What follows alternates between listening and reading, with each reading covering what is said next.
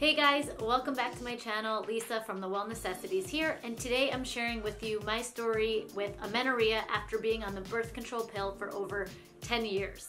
If you like this video throughout, give it a thumbs up, subscribe, and just chat with me down below in the comments. This has been a topic that I've wanted to talk about for a very long time. But before I said anything publicly, I wanted to really understand what worked for me, really dive into the research and understand sort of how all these things get messed up in the body.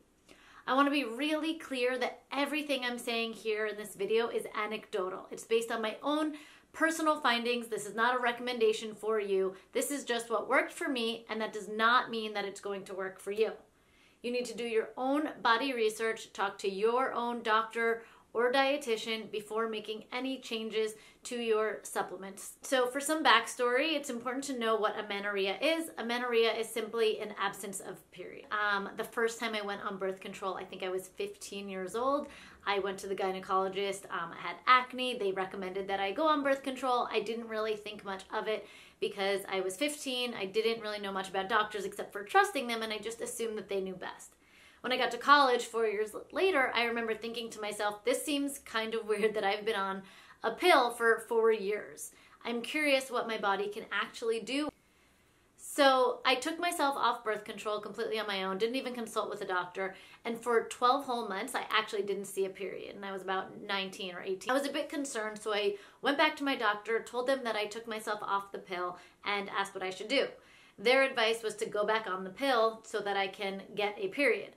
I remember asking if that was safe, wondering if that would affect my future ability to have children or what the what it meant that I wasn't getting my period in general. They seemed unconcerned and said that getting a period by way of birth control was better than not having a period at all. So I listened, I went back on and the next 8 years or so flew by and I was still on birth control. I'm about 28 years old at the time and I remember thinking, okay, in the next, you know, four-ish years or so, I'm probably going to want to start to have children, so maybe I should really make sure that I can ovulate, menstruate on my own.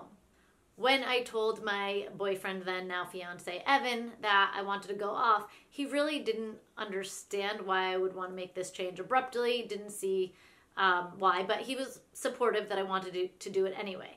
But once I went off, he realized how important it was that I actually did. I didn't get my period for at least six or seven months, which really scared him and scared me. Periods are really important, guys. Even though we talk about them like they're really annoying, they are such an indication that our womanness is working and working well. So this is called secondary amenorrhea, which is a loss of period caused by something. It can be stress, hormonal imbalance, low body weight, um, or problems with the pituitary gland. In my case, it was pretty obvious that this was a hormonal imbalance caused by being on birth control for too long. The worst symptom that I experienced from going off birth control was probably the acne. Got it on my back, mostly my face too, but my back was so bad, cystic. Um, I talked about it on Instagram a bit.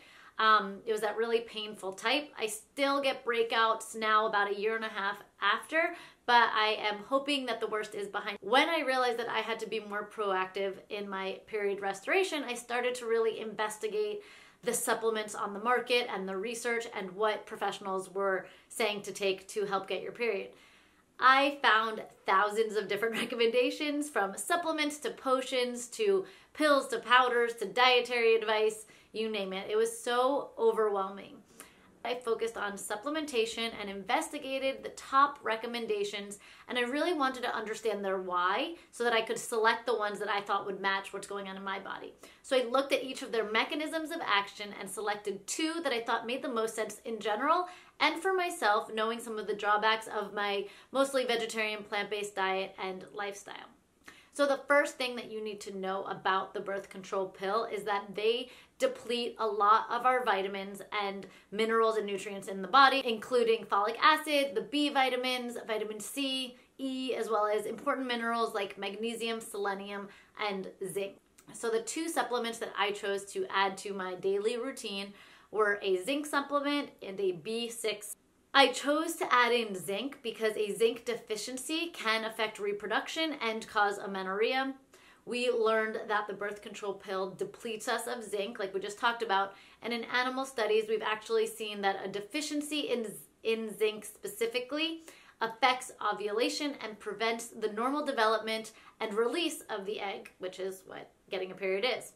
The other supplement I went for was B6. When on birth control, our absorption of B6 from food is greatly compromised. B6 is essential for what's called the corpus luteum. This is responsible for making the hormone progesterone. And a lack of progesterone in the bloodstream can actually mean that the ovary has failed to release an egg during ovulation. So we need B6 in order to avoid a progesterone deficiency all the really good sources of B6 actually come from animals like fish, chicken, beef. There are some plant based sources as well. Since I personally don't eat meat and I probably don't get enough fish in, I figured that I could probably be lacking in B6 from my diet in general.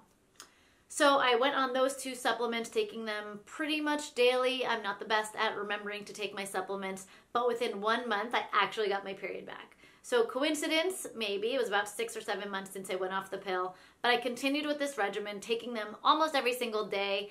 Um, and like clockwork, I was getting my period regularly. Every time I, I get my period, my fiance and I, Evan, kind of high five. It's pretty awesome to be a functioning woman, um, even if I'm getting some help by way of these supplements. There were months where I thought that my body was functioning optimally and I would lay off the supplements. And so far for me, those are the months that I've missed my periods. So these supplements are really instrumental in helping me get my period. I'm not sure how long that I'm going to have to stay on them to get regular. Helpful to know that I kind of found two missing pieces that were important for me.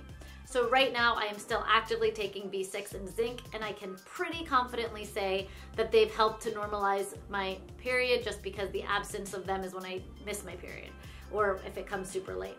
So I'm gonna link the two that I'm specifically taking below. If this has worked for you or another supplement has, please drop it in the comments below. If you like this info, don't forget to subscribe, give this video a thumbs up, and I will see you in the next one. Thanks for hanging with me, guys.